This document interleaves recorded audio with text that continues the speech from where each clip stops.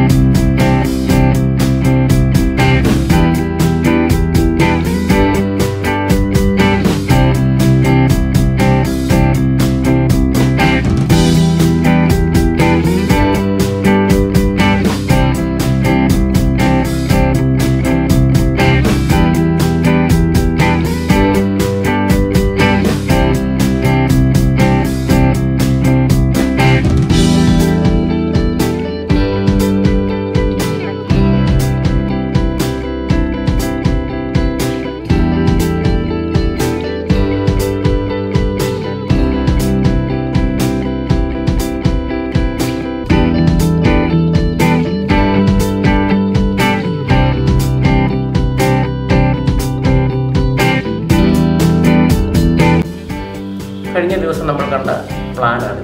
ഈ പ്ലാനിനകത്ത് ഇതൊരു വെന്റിലേഷൻ ഇത് ജനല ഇത് ജനല ഇത് ജനല ഇത് ജനല.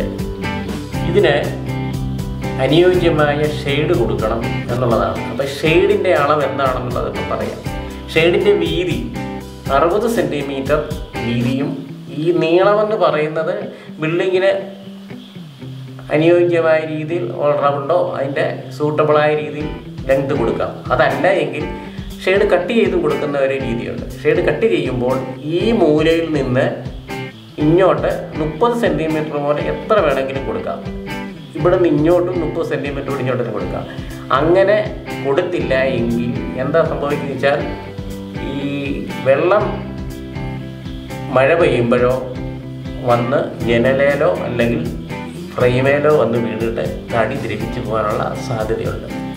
അതുകൊണ്ട് കൺസ്ട്രക്ഷനിൽ ഏറ്റവും ശ്രദ്ധിക്കേണ്ട ഒരു കാര്യമാണ് ഷെയ്ഡ് പണിയുമ്പോൾ ഈ പറഞ്ഞ അളവുകൾ കൃത്യമായി ചെയ്യുന്നുണ്ടോ എന്ന് സൂക്ഷിക്കുക. പിന്നീട് നമ്മളെ ഈ കാർ പോർച്ചിന്റെ ഭാഗങ്ങളൊക്കെ നമ്മൾ പണിയുമ്പോൾ കാർ പോർച്ചിന്റെ ഷെയ്ഡ് കൊണ്ടുവന്ന് കട്ട് ചെയ്ത് ഭിത്തിയിലങ്ങ് നിർത്തും. അത് അടുത്ത ദിവസത്തെ ക്ലാസ്സിൽ ഞാനിത് പറഞ്ഞുതരാം.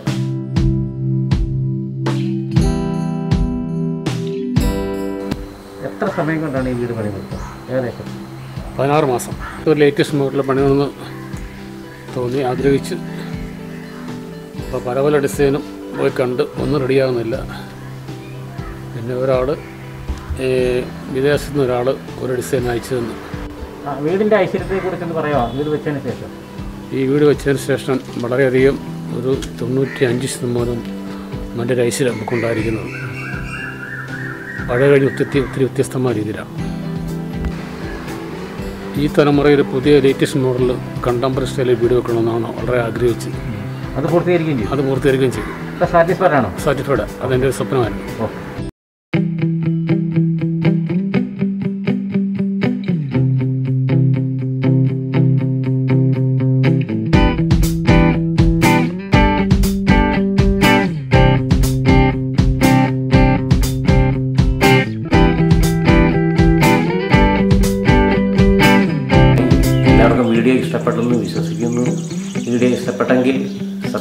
ചെയ്യണം ലൈക്ക് ചെയ്യണം ബെൽ ബട്ടണെ അമർത്തുകയും ചെയ്യണം.